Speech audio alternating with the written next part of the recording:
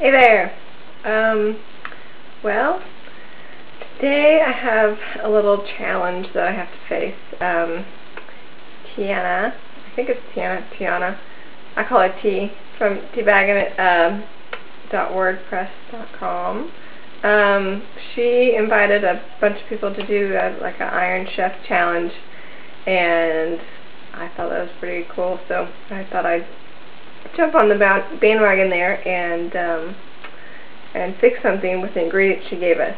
So I'm going to kind of go over what I got um, and then tell you what the ingredients were that we had to use and then what my game plan is. Uh, and then I'll just take pictures of the result. But kind of wanted to explain myself and I'm really lazy when it comes to typing. I just think it's better to talk it out. So anyways, the um, ingredients we are supposed to use are spaghetti squash and jalapenos, which are two of my husband's favorite ingredients, so he's pretty happy.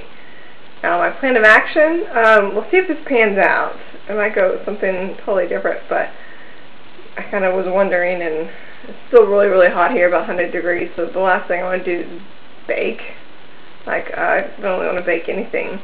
I can't really grill either because of our fires. It's just like anything cold and refreshing is what we want. So I'm pretty sure we can live off smoothies right now. But anyway, so this is what I have. Um, so I got, here's a spaghetti squash, um, that, and then a can of jalapenos, because like I said, I'm kind of lazy to, right now since we're going to be moving out.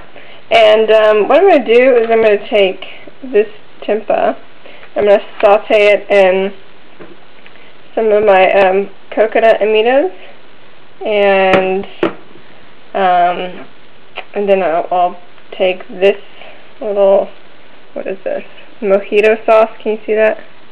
Yeah it's Cuban mojito sauce um, I'm pan simmer all that together with um, jalapenos and I might add some other ingredients too and then I'm going to take take it the spaghetti squash cooked and I'm going to roll it in rice paper and then add in the tempeh and roll it up and maybe stuff it with cabbage and some other and the jalapenos and do all that and so there would be like spaghetti cabbage rolls but spicy and quick and easy.